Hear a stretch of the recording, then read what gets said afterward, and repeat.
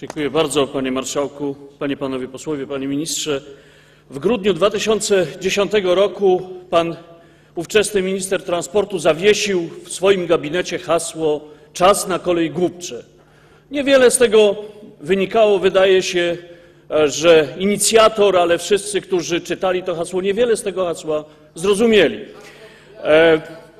Bacząc, bacząc na to, co dzieje się na polskiej kolei, można by powiedzieć, że właściwym leitmotivem, który codziennie powinniście Państwo powtarzać, szczególnie pan minister Nowak, jest, są słowa starej piosenki: Pchamy taczki, ja i towarzysze, pchamy taczki z krajem wielkich dróg, pchamy, nic z tego nie mamy. To już niewierny cytat ostatniego zdania. Dlaczego tak twierdzę? Bo oto wszystkim waszym działaniom towarzyszy przede wszystkim hipokryzja, blichtr, a brak odpowiedzialności za sprawy polskiego transportu przede wszystkim. E, Dowód?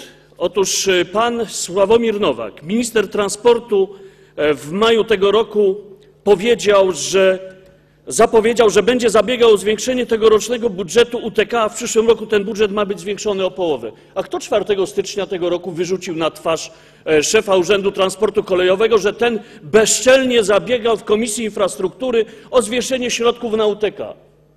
Przecież to minister, to, to Donald Tusk na wniosek ministra Nowaka wyrzucił na twarz szefa UTK za to, że ten chciał więcej pieniędzy.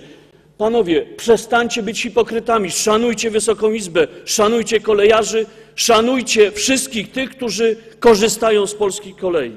Panie ministrze, kolejna sprawa. Mówi pan o rewitalizacji linii kolejowych a w 14 września 2012 roku odbieramy informację o upadłości PNI. Proszę o odpowiedź, jakie to niesie z sobą skutki dla inwestycji kolejowych, szczególnie e, linie kolejowe E30 e, Katowice-Kraków, e, L30 Katowice-Kraków i także mm, Warszawa-Łódź. Dziękuję bardzo.